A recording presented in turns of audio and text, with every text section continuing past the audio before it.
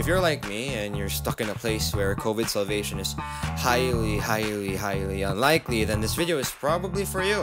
If for some reason you're my teacher or my classmate, then please note, I'll be doing all of this for the sake of entertainment purposes only. Okay, so here's the deal. Monday to Friday, we have this thing called synchronous session where we learn together online as a class for 15 minutes straight using a platform like Google Meet or Zoom, but usually it's Google Meet for most of my subjects. Now, that's not the problem. The problem here is I just can't wake up early enough to not come in as late. So what do I do? Well, instead of fixing my sleeping schedule, I'll just build something that solves it for me. I mean, I know how to code, right? My plan here is simple. I'll just automate the entire process of opening up a Google Meet link given a schedule and booyah! We are done. Is it that simple? Well, I couldn't care less. Come on, we have Stack Overflow in Google. So I Google searched and found out that I can use Selenium to do all of the work for me. All I have to do is write this Python script that continuously runs in the background, which would compare my system's time to a given Excel sheet. And whenever it finds something that matches, it should trigger Selenium to open up the corresponding link. I coded it up in Python and this is the result.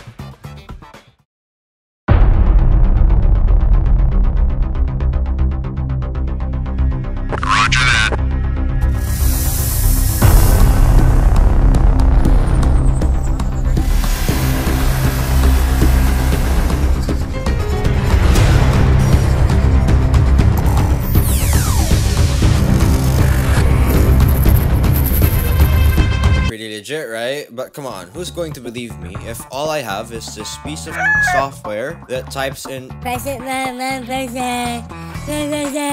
What we need is visual evidence.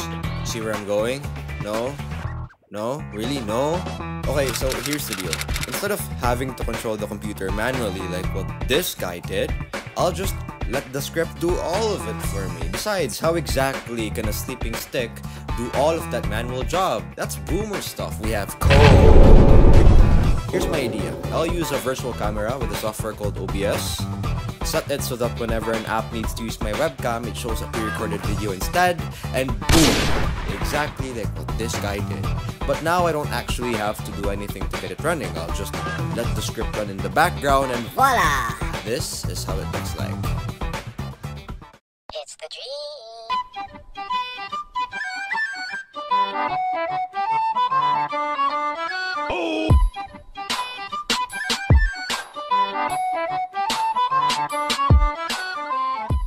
Well, if you think about it, it might seem like a good enough program already, but I don't think so. We could definitely do something better.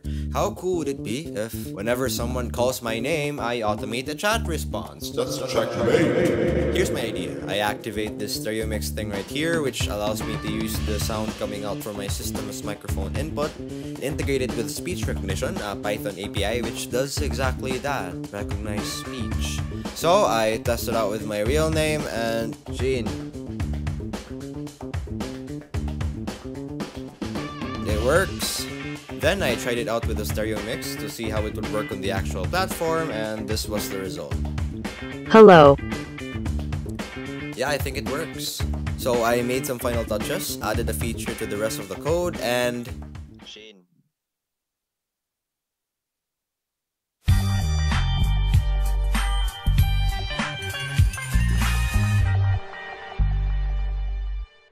the following time lapse, we'll be testing this one out for my legitimate classes. Yeah, and we'll see how this one fares. Let's let's go.